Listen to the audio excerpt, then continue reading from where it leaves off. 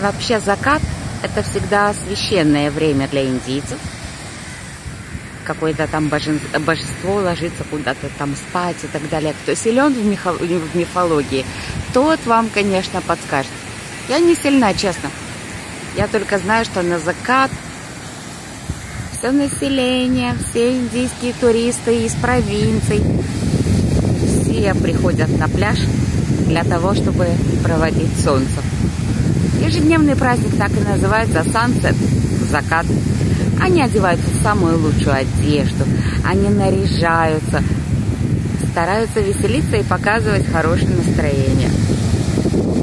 Или просто вот так сидят и молча смотрят на то, как заходит солнце.